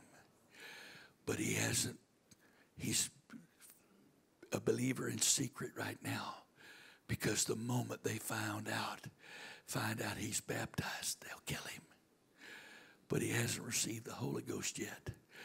He came that day because he was sick. And he'd been to the doctors and they couldn't help him. So I said to the missionary and the pastor, let's pray for him. We began to pray, and what you're feeling right this second moved in that place, came upon him. And the first thing that happened was he was instantly healed. The second thing that happened was he raised his hands, began talking in tongues. Do you have any idea how many of those folks that believe in his religion are having dreams of revelation of the Lord Jesus Christ as God? Don't tell me what can't happen. Tell me what the body of Christ, whose head's already on the throne, can do in prayer to see things change. When are we going to start stop begging God to do this and that and start praying like the body whose head has already won the victory and is in heaven waiting for people who are willing to speak the word of authority, the word of power, the word of the love of God into this earth. When are we going to pray like the body of Christ instead of a bunch of orphaned, homeless kids that God's forgot about?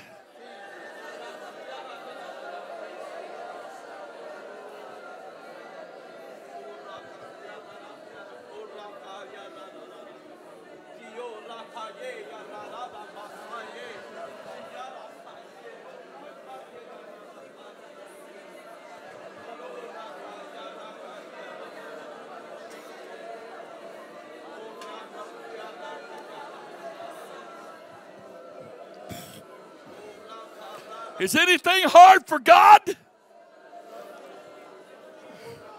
Come on. Come on. Let the spirit of revelation, the spirit of wisdom and revelation and the knowledge of Him come upon you now in Jesus' name. That the eyes of your understanding would be opened, that you might see, that you might receive the revelation and the faith that goes with that revelation of who He is and who you are in Him. That by and through that revelation, you might be His conduit of prayer to speak that authority He has sitting on the throne of heaven into the earth that souls might be saved.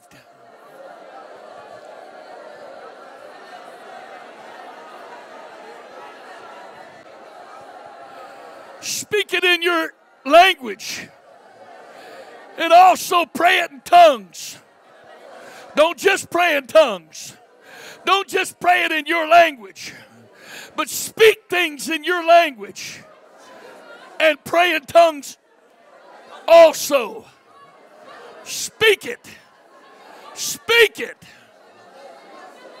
That's why Jesus said the keys of the kingdom is whatever you bind on earth shall be bound in heaven. Whatever you loose on earth shall be loosed in heaven. Because of who you are. You're the body of Christ. He's put all things under your feet. He's the head over all things to the church. But the word has to be spoken and released into the atmosphere of this earth so that word can come to pass.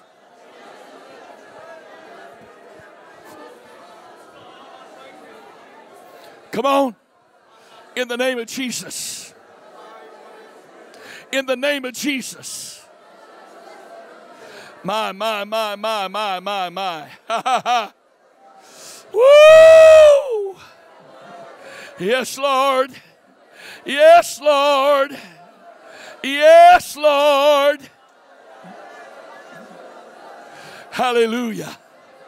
Hallelujah. Hallelujah.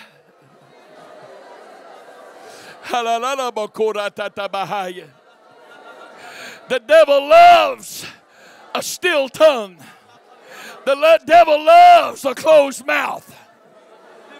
The devil loves a closed spirit. You can't meditate the power of God into manifestation in the earth. You can't meditate the authority of God to take dominion in the earth. Life and death are in the power of the tongue. The Lord gave you His power, the power to speak. Let there be. Let there be.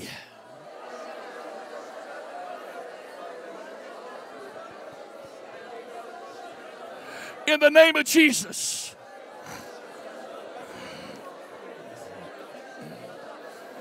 Loose the spirit of the love of God into your parents' home. Loose the spirit of the love of God into your siblings, brothers, and sisters' houses. Loose the spirit of the love of God into your school, in your place of employment, into your neighborhood. Bind the spirit of darkness. Bind the spirit of blindness. Come on. You're the body of Christ. Pray like it. You're the body of Christ. Speak like it.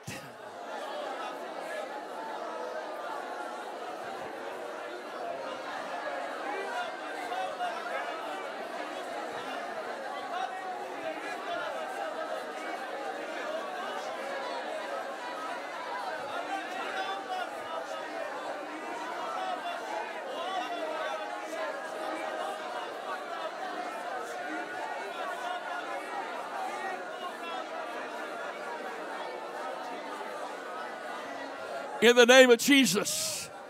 In the name of Jesus. Come on. Come on. Wake up, church. Wake up, body of Christ.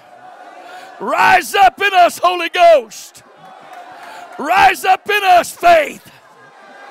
Rise up in us, authority and power of God.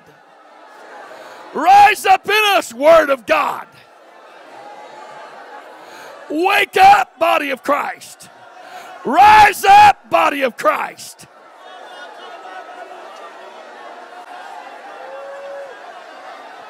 In Jesus' name. In Jesus' name.